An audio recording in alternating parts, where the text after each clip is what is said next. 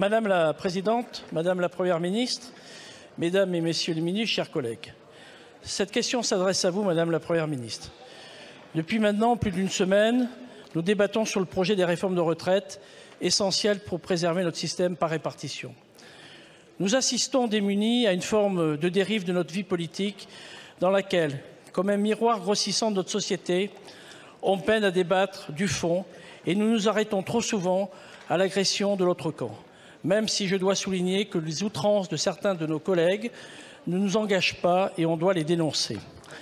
Je veux d'ailleurs, par ces quelques mots, remercier et saluer Olivier Dussopt pour la compétence et la dignité dont il fait preuve dans ces débats.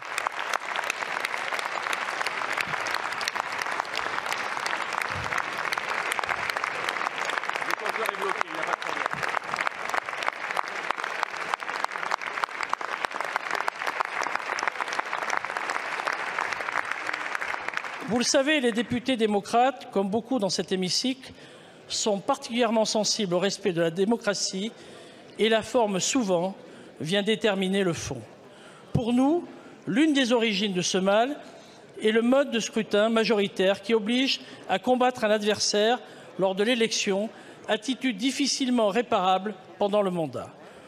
Aucune véritable alliance de long terme n'est possible si ce n'est des arrangements électoraux qui ne sont jamais bâtis sur les accords de, de, fond.